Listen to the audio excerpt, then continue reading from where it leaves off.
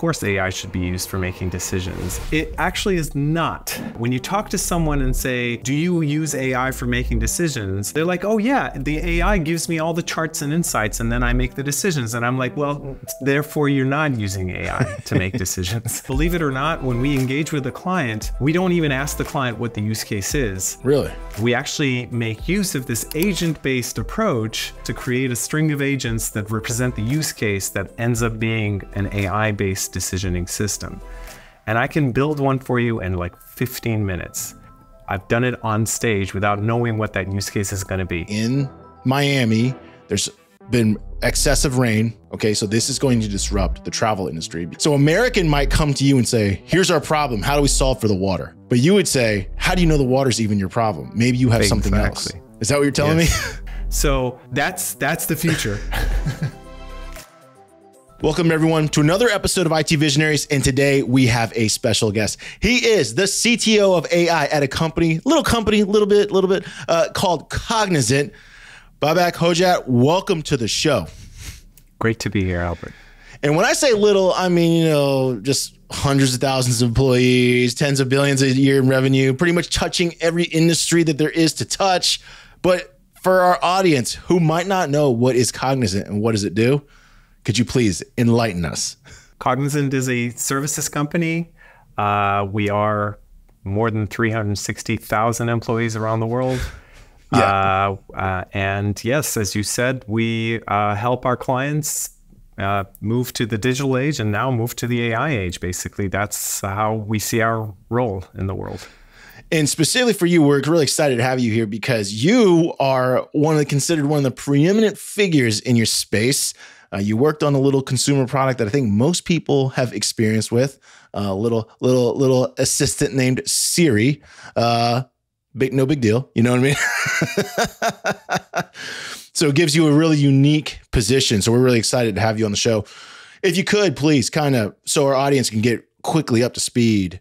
What is your background? Uh, and then we of course want to dive into the projects you're working on now. Yeah, I uh, have a PhD in AI, um, and I've been in AI all of my career, uh, most of which AI was not cool, and now it's very cool. So, oh, yeah. really happy. um, and uh, yeah, in the late 90s, uh, started a company called Dejima, uh, where we did natural language interfaces. Uh, we had a very revolutionary approach to natural language. Natural language was used to be done from the language, like let's understand the language, let's come up with the grammar and so forth. And so what we did, the main invention uh, there was to actually look at it from the perspective of um, the ontologies of what we were interacting with. In, in, other words, the semantics of it, the, the meanings of it. Uh, and then lay a like soft layer of language on top of that. In fact, the approach back then even was called agent-based uh, approach. Um, somewhat different, in many ways similar to what is now all the rage, which is agent-based uh, systems. And um, that led to Siri. So I'm the main inventor of the natural language technology behind Siri. Um, and my team started Siri, and obviously the rest is history. I uh, I mean, these days Siri isn't that good, but I mean, I was very happy with uh, the announcement just a few days ago uh, regarding uh, how Apple is thinking about AI and generative AI. I, I do think they've they've gotten it uh, gotten it right. It remains to be seen. Obviously, we'll have to play around with it. Uh, I only still have maybe a couple of friends still at Apple working on Siri, and they don't tell me anything. So, yeah, it's a it's a very known uh, secretive company. Imagine seamless customer experiences, fast internet, and the bandwidth required to embrace new technologies. Are you ready to experience the network that makes it all possible? There's no network quite like Zayo's.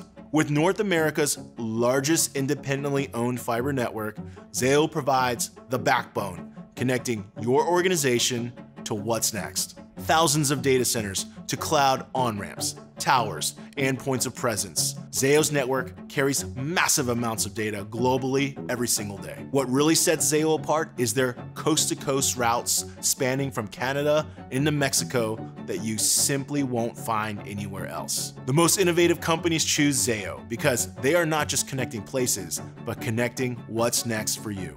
Discover the power of Zayo's network today. www.zayo.com slash network. In your perspective, what has enabled, because it feels like to the, let's say, the general public who might not be uh, working on projects in AI specifically, but it does feel as though there's been huge leaps that we've now seen in the last, let's say, two years, maybe even sooner than that. Where, for example, like first it was, you know, ChatGPT got and, and, and I know it's not first, but when Siri came out, it was like groundbreaking. In fact, my wife, who worked at who worked at KPMG at the time, KPMG quickly banned Siri because they said, "Hey, it's not allowed to come here. It doesn't know. I don't want it to hear what we're talking about. Or, you know, we're dealing with companies' confident, confidential financials. To you know, so that was a huge momentum change. Um, GPT obviously was a huge momentum change. And then when you know Sora came out, people were like, "Oh my god, what is Sora? Like this thing's crazy." And so there does feel like there are tremendous leaps happening right now. I'd love to hear your perspective on what is enabling this change. Is it what's causing what feels like the hockey stick. Like it feels like we're we've now passed the hockey stick of AI. Well, uh, yeah, absolutely it does, and uh, for all of us, like m- maybe some of us realized that a little bit earlier than others, but more or less in the past few years, we've all been stunned by the emergent behavior of these models, what what they can do that we didn't expect.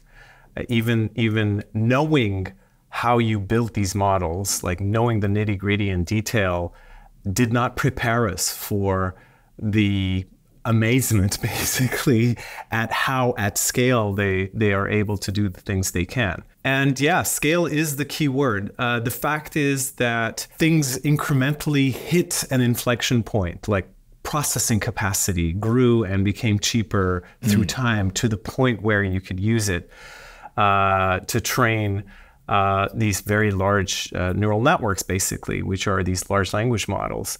Um, and in some ways, uh, that processing capacity was initially created for, you know, uh, graphical uh, yeah, gaming interfaces and gaming. yeah, exactly, and uh, creatively repurposed for for training neural networks.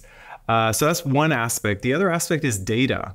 When I think back to the you know 80s and 90s we really didn't have very large repositories of, of digital data i mean today we take it for granted uh, today uh, you know just simply saying yeah we train our large language models on a snapshot of the internet it's a snapshot of the internet a the internet is much much much larger than it was oh, yeah.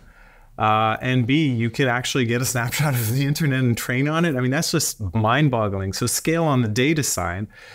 And yes, tweaks and changes to the way we architect and build and train neural networks. That didn't come overnight. It's been happening over the past 20 years or so with, with uh, breakthroughs on backpropagation, on architectures for deep learning, um, the latest of which is Transformers, and Transformers itself, that architecture is also kind of evolving and, and, and improving.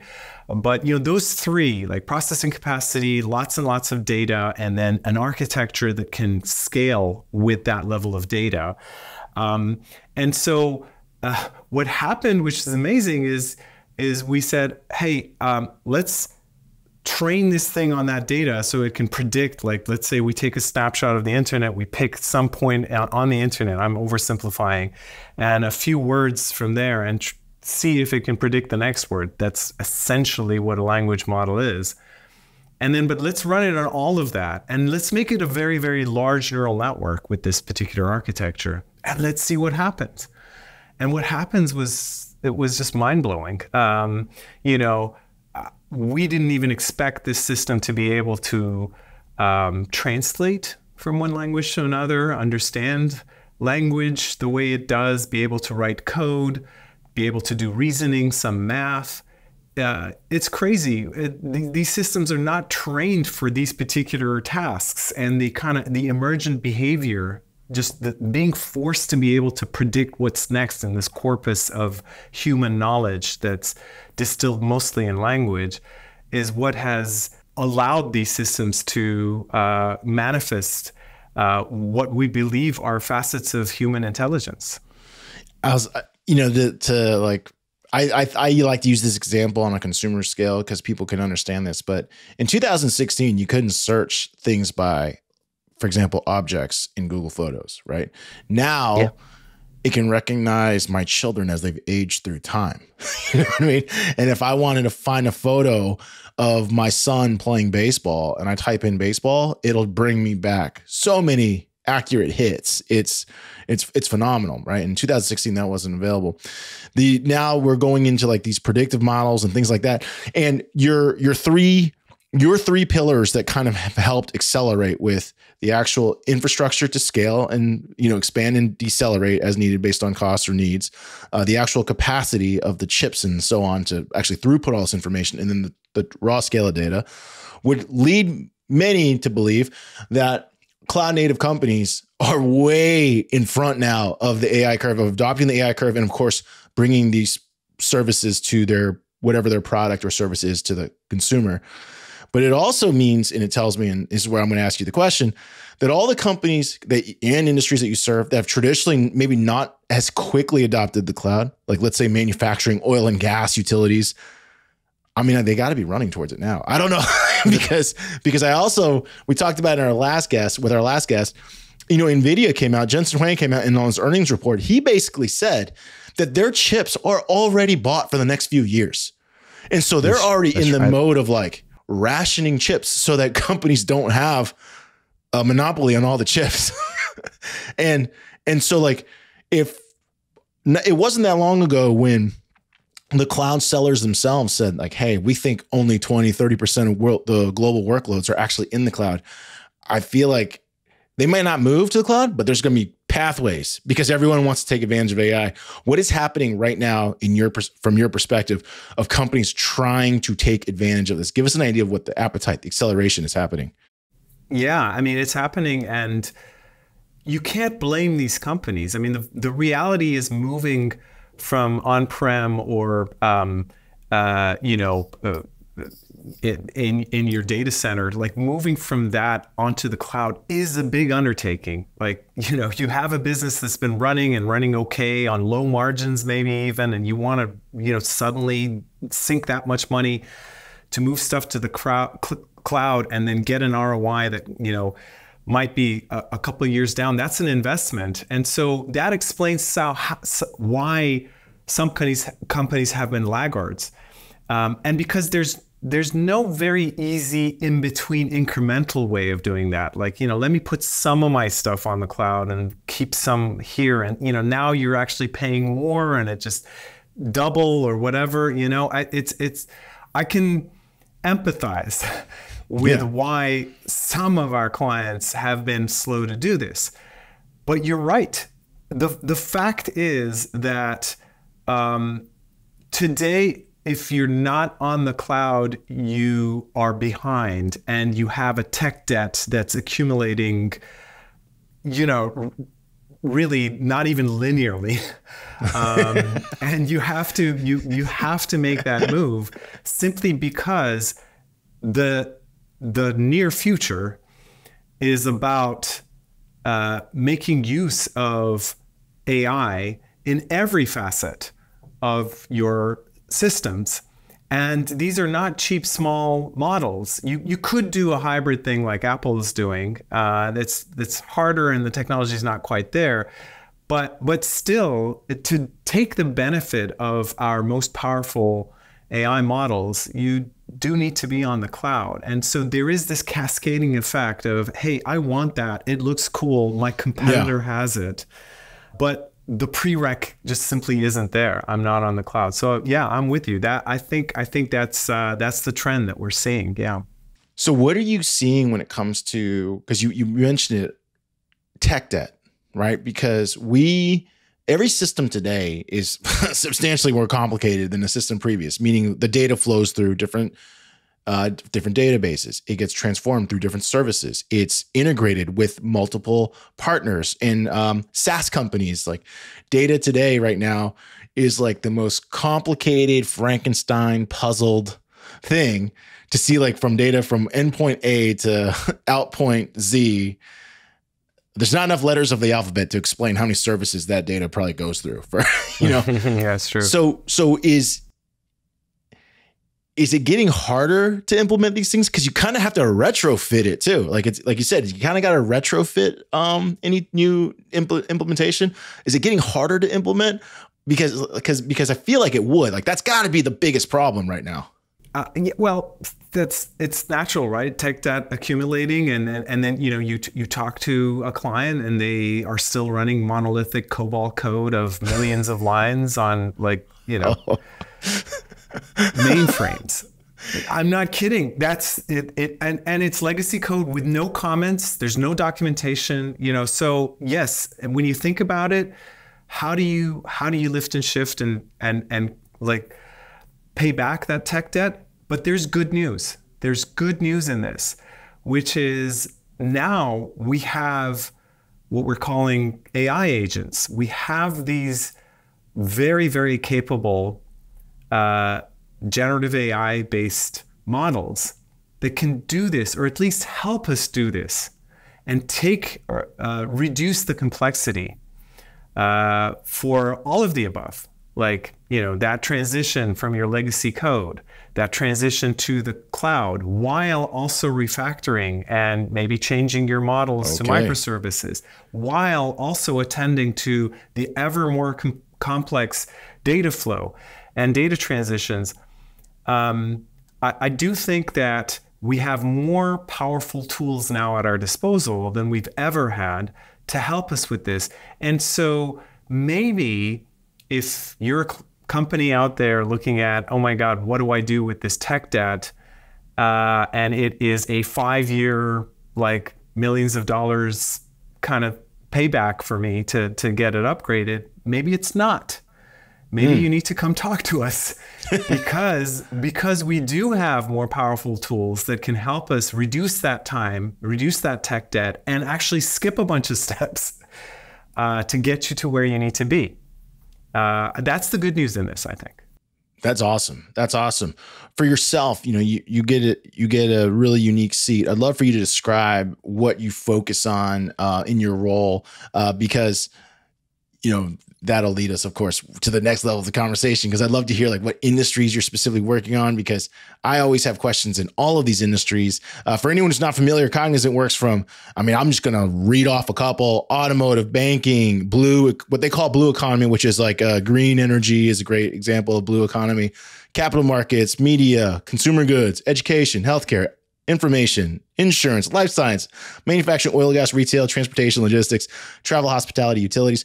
Sounds like you work with everybody. So, specifically for yourself, I know you oversee a lot of the AI transformations at Cognizant. What industries, or are you working across all industries? Like, we'd love to understand. Look, beyond the fact that Cognizant is an awesome company, and I'm not kidding, this is like it's it's a huge company with a startup attitude what you just described is the reason why I'm at Cognizant. Like we are working, and we're actually an extension uh, on on an IT and AI side for all of these industries for um, our uh, for pushing these uh, companies in all of these industries to the next level and helping them, for example, AI enable. It's a unique position. Like if I wanted to go out and do a startup, um, I would have to focus on one area, one application, one industry, you know, and, you know, t- today I can pick up the phone and talk to the CIO or chief AI officer of any of the Fortune 1000 and not only that, I can talk to the Cognizant team that's working on their data, on their AI enablement process, and see, and I can go to that CIO and tell them where they are and how and what is the next step that they need to take. It's a very, very unique position. And I'm working with AI. And AI is uh, a technology that is useful in all of these areas. And so, if you want to bring AI to the real world, there's no better place to sit than where you can take it to and, and observe where and how it can be used in all of these very disparate, uh, very different um, use cases. So, but to your question of what do I do at, at Cognizant, um, so I run our AI R&D. Um, I'm actually at our office right now here in downtown San Francisco, where we have a bunch of AI PhDs and researchers and and um, interns, uh, and we um, publish papers and peer-reviewed AI journals and, and conferences. We um, have a lot of patents. It's a lot of very like cutting-edge um, AI research that we do. Uh, but at the same time, the cohering principle around our research is how do you make use of AI in a responsible fashion for making decisions? And while that might sound trivial or obvious that, well, yeah, of course AI should be used for making decisions, um, it, it actually is not. People are not familiar with that. When you talk to someone and say, hey, I use, do you use AI for making decisions? Uh, they're like, oh, yeah, the AI gives me all the charts and insights, and then I make the decisions. And I'm like, well, therefore, you're not using AI to make decisions, right? So, decision making is hard. Decision making, yes, it does entail looking at a lot of data and insights and predictions, but at the same time, it also has to do with balancing between a number of different outcomes, different KPI that are not necessarily aligned. Often they're not. Like if you look at a business, they want to increase their revenue while you know reducing their their costs sure. while being responsible and ethical and green like there, there's so many different angles to this how do you make a decision on a day-to-day basis to hit that kpi uh, and so we have a methodology for for how you do that we have a platform called neuro ai that uh, that my uh, team um, contributes to and we take it to our clients. And believe it or not, when we engage with a client, we don't even ask the client what the use case is. Really? Um, we actually make use of this agent based approach where we use Gen AI to identify use cases for the client, to scope them, to produce synthetic data that resembles the data that the client has, and then to basically string together a number of agents. So it's very meta. Like you use agents to create a string of agents that represent the use case that ends up being an AI based decisioning system. And I can build one for you in like 15 minutes. Um, I've done it on stage without knowing what that use case is going to be. So, um, so that's that's the future. let's walk. Let's walk someone through that. Okay. okay. Let's walk through them because that that is um I feel like I understand, but at the same time my mind is blown. All right. So so I'm going to I always use the travel industry because the travel industry is I think something that just about everyone has had experience with. Uh, so let's use something really current right now uh, in the news, which is um, right now in Miami, there's been excessive rain and you know Unfortunately, there is a lot of flooding. Okay, so this is going to disrupt the travel industry because uh, even if it wasn't at the airport, the workers can't get to the workers can't get to work, right? Because the roads are blocked. So I've already been alerted through American Airlines that, um, hey, hey, there's going to be travel delays. Okay, so American might come to you and say, "Here's our problem. How do we solve for the water?" But you would say, "How do you know the water's even your problem? Maybe you have exactly. something else." Is that what you're telling yes. me? Thank you. Yes. No, absolutely. That's right. I mean, you don't have to uh, pigeonhole yourself into the, you know, legacy thinking about the problem that you're tackling because right now we can actually view it in a much, much broader sense and we can bring in all the constituents and help you in how you should approach and tackle that the, the problem that you're looking for and you're looking at. Um, there, there, there are two ways you can do this, right? One is to say, um, yeah, I'm an airline, and uh, which obviously is in travel uh, industry, and um, I have uh, um, weather-related uh, issues, and then just leave it at that, and have the agent go, okay, the types of decisions I mean, we're, we're, we're really starting at the very, very top. Like the types of decisions that you would care about are these. And let me tell you which one of these, like five different types of decisions that you care about, if you tackle with AI, which one is going to give you the most bang for the buck the fastest? So before even you decide where to invest to AI enable that decision making, let's do some analysis some reasoning around okay, if you pay this much and you attend to this piece of the decision making process and solve it by whatever percent, here's the ROI, here's the here's the therefore does it make sense? And there's of course the urgency aspect as well, right? So that's that's the very first step. Okay. Good, great. I like it. Let's do that. All right. Now the next step is that's handed off to another agent. And when I say agent, I'm talking about AI agents. Sure. The next agent is going to look at that and go, okay, American Airlines and weather. So I have access to this set of weather data that's coming in, and historically I have that. I have access to airline disruption data. I know that within American Airlines, or at least I can guess that within American Airlines, they are collecting data around, for example, routes, uh, you know, um, costs, redirection costs, you know, their hubs, whatever stuff that data that's very specific to American Airlines, and the system is going to list the data attributes that it thinks could be available that would help with this kind of decision use case.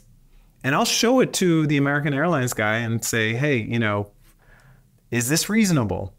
And Grant, I mean, we're cognizant. We'll come in and help you bring all these uh, data sources together. Like, you know, don't worry about that aspect. Let's just look at the reasonableness. Also, here are the outcomes that we're solving for you know, obviously there's a cost issue, there's a delay issue, there's a customer satisfaction issue uh, question here. There is a, um, you know, let, let's say environmental issue uh, yeah. at question as well. Are these the outcomes that you care about that you're solving for? And how much of which and which one is more important? So, okay, we're going to do that interview piece and we'll, at the other end of this, we'll come up with a scoping for this particular use case. And then we will generate synthetic data. And I can't emphasize enough the role of synthetic data today in building an end to end system and then iterating on that. And so you that's the next step. The the next agent that comes in goes, oh, okay, I can see this is the scope of the problem, and this is the data types that you need. I can see these are the relationships. This is the distribution of the data. I, I can guess. Let me produce some synthetic data that resembles the data that I think that we will be able to get. And then you, when you when you have the synthetic data and you have the scope, now you string together agents that can become the AI twin or simulation for you know that disruption that's happening in the travel. And you can have another agent that kind of looks at that at that simulation basically an ai based simulation and tries various different scenarios. Let's see if we route these flights this way or let's see if we you know temporarily move some of our um, planes to this hub here or whatever, what's going to happen, tries various different scenarios against that AI twin, and then comes back and says, here's the art of the possible. Now, of course, granted, all of this is on synthetic data, but the synthetic data is kind of similar to what, what the reality is, but it'll say, here's the art of the possible. Um, you know, we think that with this kind of um, a cost hit, you're going to save this much time for your customers. Your customers are going to, you're not going to get much of a hit on your customer satisfaction. Also, given the routes that we've chosen, you're not going to emit this much, you know, CO2 or whatever, um, because these were your your your goals.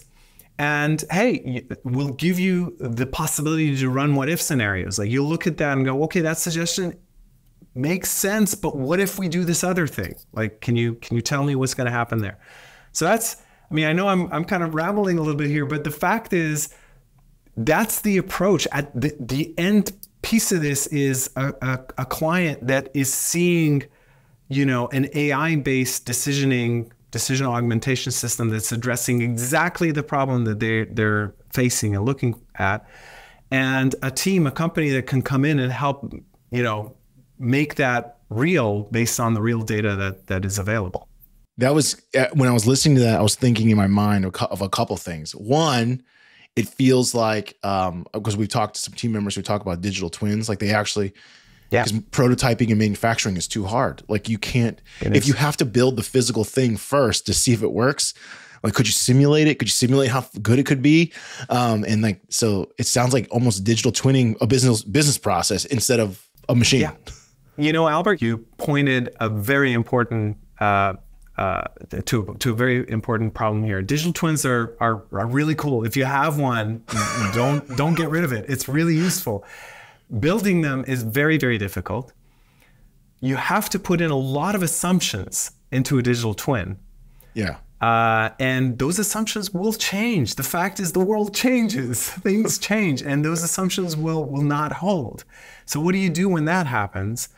Um, and so, even if you have a good digital twin, what I would tell you is augment that. Add an AI twin to that because your AI twin is going to be reactive to the change in the world. It'll be able to, you know, you'll get the best of both. Uh, you know, the details of the digital twin while the data oriented robustness of the AI twin and bring both of them together. And then, of course, on top of that, you bring in that optimization on the decision making when I hear that, I think, you know, in I'm stuck in aviation right now, but of course, right now, I think it's fair to say that, you know, like airline company like Boeing has come under a lot of scrutiny lately for the quality of its main, and everyone knows about what happened with the um the Max plane and the MCAS system. So for example, the MCAS legendarily only had one sensor. And so if that sensor failed, then they didn't know they basically didn't test that. Um and so an AI twin almost, or an AI twin on top of a digital twin is the kind of thing that will just start creating scenarios. Well, what if a goose hits the sensor? Then what? right? There's that. And yeah, absolutely. it makes you wonder because because like you said, if you've only if you've plugged in the variables, then you're really not testing a system completely. You're testing a system against the variables that have been plugged in. Exactly. That's right. um, we we had like when you think about SEIR models when it comes to um, uh, you know, the, the pandemic, for example, a few years ago, we were all like looking at models of, of, of how COVID is changing and so forth. Same thing. I mean, those models are, you put in a bunch of assumptions. If you remember at the beginning of COVID, we didn't know, like, we didn't know too much about this virus. And so those assumptions were like really wild guesses as to what we think this might do and and the mortality people, rate, the incubation right, period is all an assumption. People reacting to it, like you yeah. look at the world, like different countries are putting different policies in place. People in, you know, I don't know. Um, uh, Hong Kong, China, uh, you know, mask mandates maybe weren't even yeah. needed because people were just wearing masks. It, it, was part of the culture. Here, it was it was very different. So, yeah. you know, how do you? Even, Sweden was just like, yeah, we're not even going to stop. We're, we're not, we're not changing. right, exactly. So how do you? How do you build those sorts of assumptions into your model if you if you're not sure what the reactions are going to be? And then, of course, now I have a model. Vaccine comes in, all bets are off. You know, how, or or or I don't know, Paxlovid comes in and all yeah. bets are off. So the assumptions that you've made are not going to hold. You need something that can keep up, that you can pump the latest data into it, and it can say, ah, I see that you know some of my assumptions were wrong, or I need to. So I, I think that is, that is the right approach, and that's that's a big part of what we do here is create that AI twin. If there is a digital twin, pair them up with one another, and then do that optimization against it to come up with the uh, uh, decision augmentation. You know, in, the, in just a moment ago, I gave you, uh, you know, one hypothetical scenario, one real scenario. I'd love to hear what are some of the things, or uh, whether it's a process, invention, uh, proceed. You know, what are what are companies what changes are they making that we as consumers are going to feel or see and experience in like the next 12 months that is going to be you know possibly different than what we've experienced before i'm recently um, amazed by an observation uh, that companies without quite realizing are inching their way towards making all of their applications and software agent based without even realizing that. And it's like this like creeping what do they call it? These uh, uh, uh, you know coup d'etat like it's just uh, you know without without um, and so what's what's happening? Um, the obvious use case of generative ai is a chat gpt like or chatbot uh, interface into my proprietary data. Okay. Um, and so just think about it like you have an intranet, it's being used. There's a lot of apps there, but people are just, you know, pulling their hair out trying to find the app that they, they need to use, or you have some sort of like um, data set behind behind your firewall and you want to give people access to it, but it's like tons and tons of PDF documents and it's very difficult to get to them. And now this technology comes ar- around, and you're like, "Oh, ChatGPT, this is so cool! Like it just understands what I'm asking for." But I mean, if it's it's doing it against the network, like internet, uh, can it do it against my data? So that's the natural move. There are technologies you might have heard, such as uh, retrieval augmented generation and so forth, that allow us to create, you know, take these ChatGPT like um, uh, models and point them at our proprietary data and uh, create what for the user would look like ChatGPT, but it knows about our data, right? And many of our clients are doing this.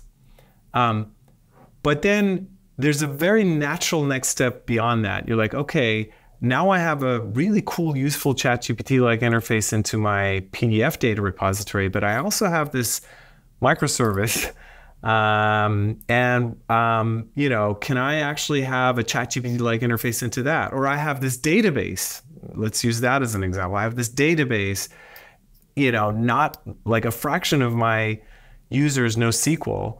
Um, but the data is really interesting. So can I actually use an, a large language model, Gen AI system, and have this kind of like be able to type in in natural language what I'm asking for and for it to actually on my behalf write the SQL and get the data back and it's coming from the database so the data is reliable. So okay, that's step 2. I go from, you know, I have a ChatGPT interface into my PDFs. Now I have a ChatGPT interface into my database. Now, what if somebody talking to the first one has a query that could be answered by the second one? Are we going to ask the user to decide whether their query is best resolved going to the PDFs or the database and then based on that go talk to that avatar or chatbot? I mean, that's kind of silly. What if we could actually have the same chat interface decide whether the query is best resolved from the PDFs or from from the database? The moment you start thinking that way, and some of our clients are, you're you're thinking multi-agent system. I have one agent that's representing my PDFs. I have one agent that's representing my database. I might have an agent that's representing my microservice and API calls. What if I bring them all together? The three agents talking to the one top agent that actually decides who to reroute this to. Those agents are now talking to each other in natural language. It's very robust.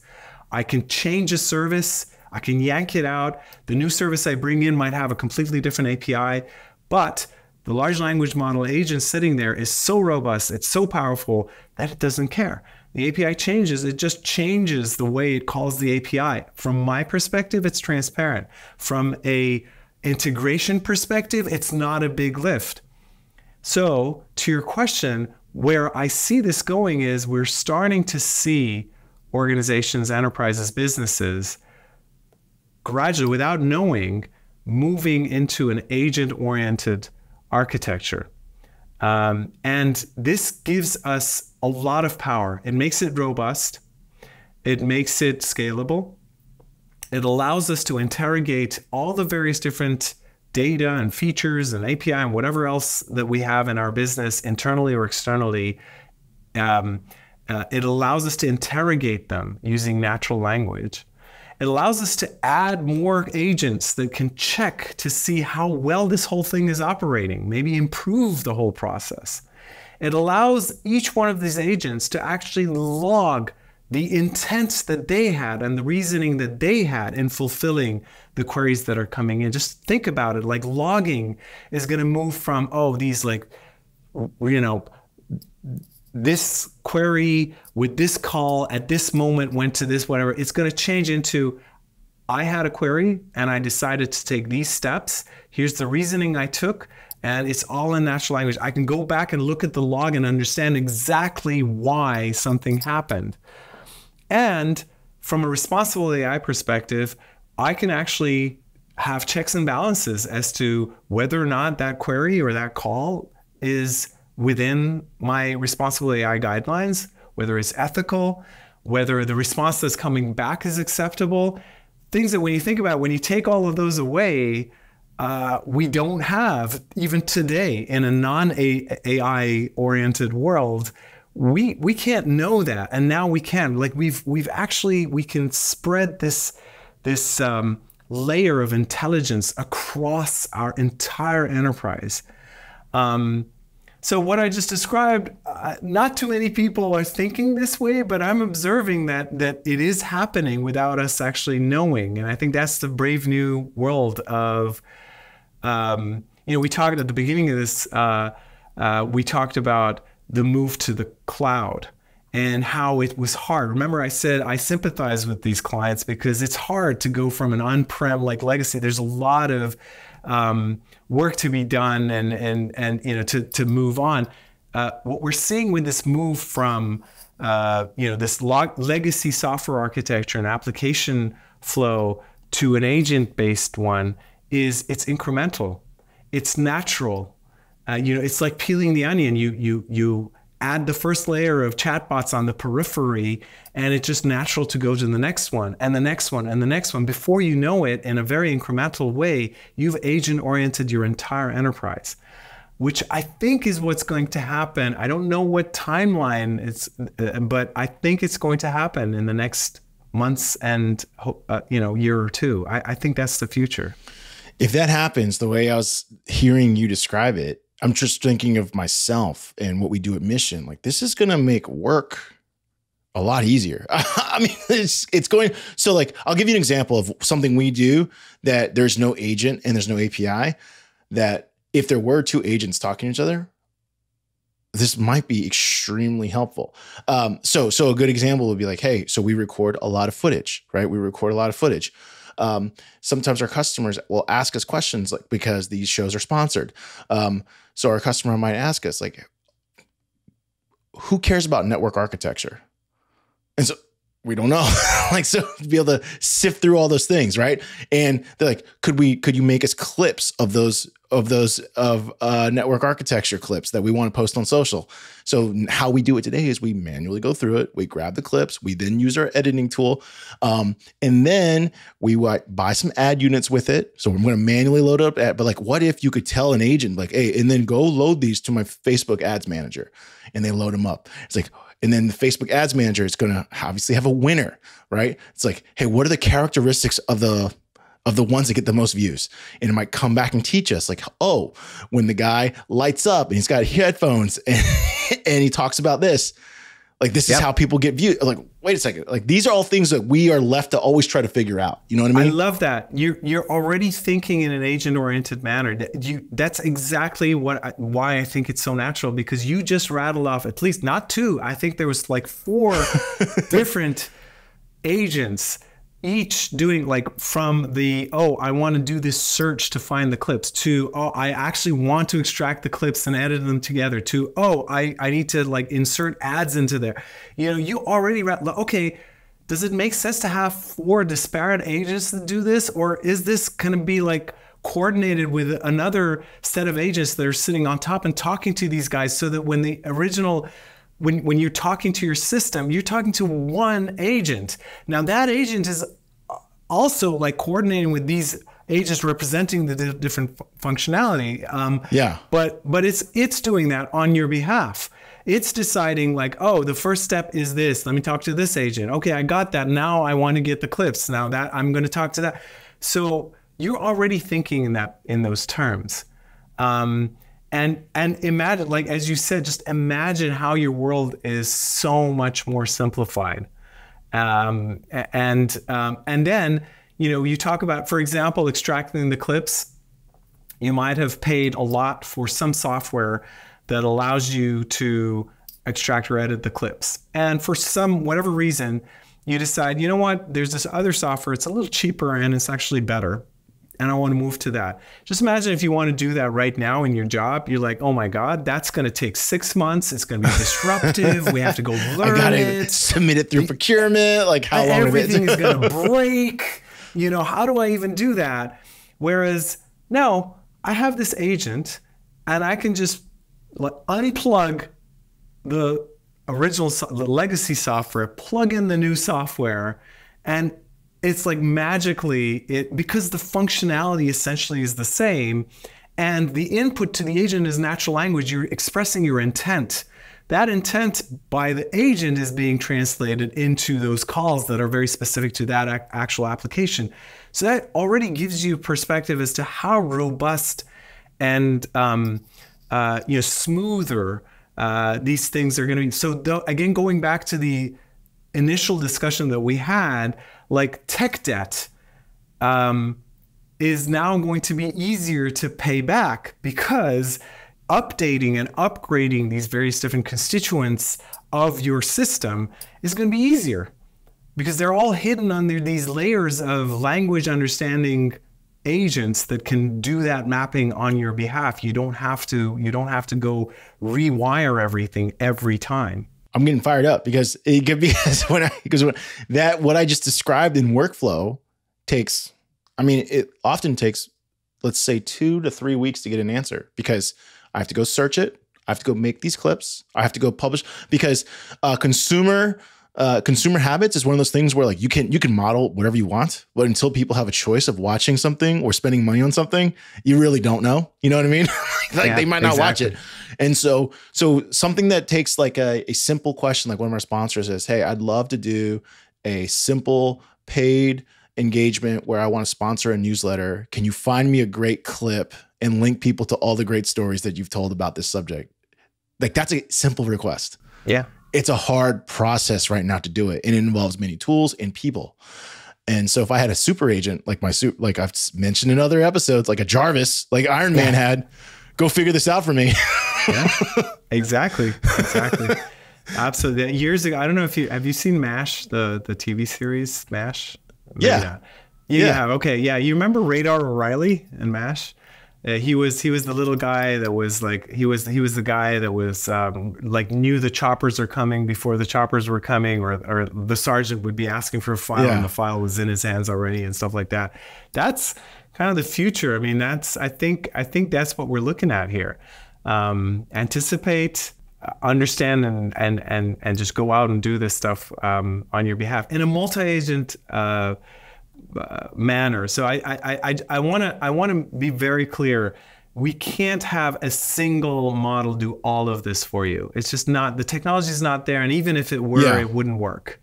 You know, it's about um, representing features and functions and data and API and all, all that with different agents, each representing one, and then them talking to each other and resolving, you know, whatever um, uh, query or, or uh, intent that the users have. I think that it's that's the future of software. Well, the what particularly what I'm happy about talking with you about is that I think for a lot of us as general consumers, we might feel like our service providers are kind of slow. You know, like I think that's like the general consensus among people. It's like, uh, like my cable company slow, my internet service might be slow, my repair team that fixes my house slow. I pay taxes to the IRS, they're slow. Like everyone thinks of slow, right? Um, and most people think. I mean, unfortunately or fortunately, it doesn't matter. Uh, a lot of people think they hold companies to a really high standard that they have to hit. And so it's exciting to hear that there's this many companies trying to do this yes, of course they're trying to save money, but ultimately they also know that if we have a better experience, it's more easy to for us to get what we want as consumers. They also that's that's really how to win. And so I uh it, it gets me excited talking to people like yourself because you're working on such an array of projects, you know. but before you know, back, it was fun, fun having you. But before you go, I have some scenarios I'd like for you to answer and you tell me how close we are to solving these problems with AI or agents upon um, super agent with agents. All right, you ready? These are everyday problems that I think we have or will have. Ready? Go. All right. Are we getting to the point where AI can recognize AI? Because I hear about like the new phone scam where people are emulating like maybe the voice of someone you love and tricking people. It's like, will my AI recognize it's talking to AI? It's an adversarial problem, isn't it? Like, you know, you you get an AI to to recognize the, the other AI. As soon as you have one, you can train the scammer AI against the you know recognizer AI and get make it better. And then once you have that, you can you can train the other AI. So unfortunately, that's uh, yeah, um, good guys versus bad guys kind of thing. Uh, yeah, so I don't know if there's an end to, end to that, unfortunately. Can when do you think AI can um, differentiate between fact and fiction? Because I read about how one of these lawyers he used AI to defend his case. Turned out the AI was reading from like fictitious cases, and uh, that's an example. This lawyer's been of, disbarred. yeah, yeah, that's that's that's an example of of completely misunderstanding and misusing AI. So let, let, let me use a human analogy. Um, if I ask you, you know, what is 2 to the power of 50? Um, you're, you're not gonna, or 50 is too large. I don't know. Two to the power of do, whatever. Give me, right? give me two squared. Four. Yeah, yeah. to the power of I don't know. Uh, uh, yeah, let's just go with 50. Um, or what is what is pi to to you know 20 uh, digits, right? A, an easier one for some of us. So if I asked you that, and you're gonna go, well, I think it's three one four one six. I don't know, and then maybe you'll make up the rest because I've forced you to actually give me the entire thing and hope that you know by luck maybe some of the digits will be, be will be right. I'm asking you to pull from memory. You're learning yeah. to give me an answer, and of course you're you're likely to make some mistakes what would be reasonable would be for me to say, Can you give me pi to 20 digits? And you pick up a calculator and type it in and get pi to 20 digits or 50 or whatever number of digits and give it to me and say, I think this is a reliable answer because I used a calculator that I, I can rely on. That's the difference. If you use an AI system, give it the tools, and then through its reasoning, it will go use those tools and answer you the question. You will get a much, much more reliable answer than if you just say, hey, pull from your memory and give me something. right? and that's the misuse. If this lawyer had said, hey, I have a database of cases that are yeah. relevant and I don't just have the time or can't really go searching whatever. Can you go searching and find me some? The likelihood of this mistake ha- happening and this guy being disbarred would have been much much smaller next to zero right. because the ai would know to go search it use some reasoning even double check make sure the case is relevant and come back and say here are the cases you're going to use. I bet it would do a better job than the lawyer doing it manually. But they didn't do that. The lawyer's like just give me out of nothing. I'm not even going to give you the tools. Well of course that happens. So that's a lot. I mean, I feel sometimes that I have to defend AI against yeah. this. All right, here's some here's some fun ones. All right, how soon are we as a society or anywhere uh, accurately predicting the weather?